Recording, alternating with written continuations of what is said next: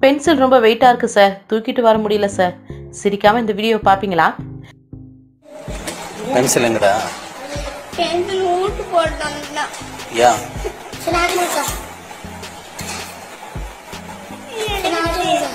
என்னது?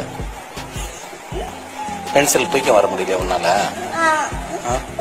அவ்வளோ wait கொடுக்குதா? Back தூக்கி வந்தியா? ம்? பென்சில் தூக்கி வர முடியலையா? சரி அதுக்கு ஒரு ஆள் வச்சிருமா? ம்? சரிப்பா சரி ஓகே. நாளையிலேருந்து பென்சில் எடுத்து வரது வேற ஆள் வச்சுக்க உனக்கு. ரொம்ப கஷ்டமாக தான் இருக்கிறதுக்கு. இன்னைக்கு எழுதுறதுக்கு என்ன பண்ணுவேன் படிப்பியா?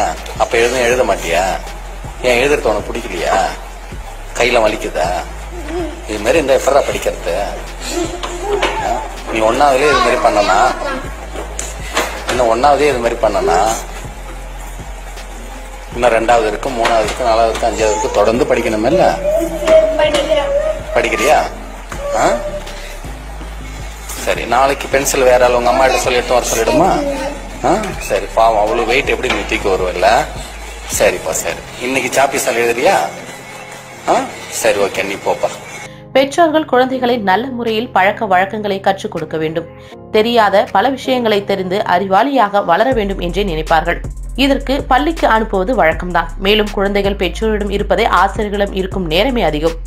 அவ்வாறு இங்கு பள்ளிக்கு சென்ற சிறுவன் ஒருவன் ஆசிரியரிடம் தான் பென்சில் கொண்டு வரவில்லை என்பதால் கண்ணீர் விட்டு அழுது கொண்டிருக்கின்றார் அதற்கு ஆசிரியரோ பென்சில் மிகவும் கடினமாக இருக்கின்றதா? என்று கேட்டதற்கு சிறுவன் ஆமாம் என்றும் வேறு ஆள் வைத்து தூக்கி வருவதாகவும் கூறியுள்ளார். மேலும் இது போன்ற பல தகவல்களுக்கு எங்களுடைய சேனலை சப்ஸ்கிரைப் பண்ணுங்க.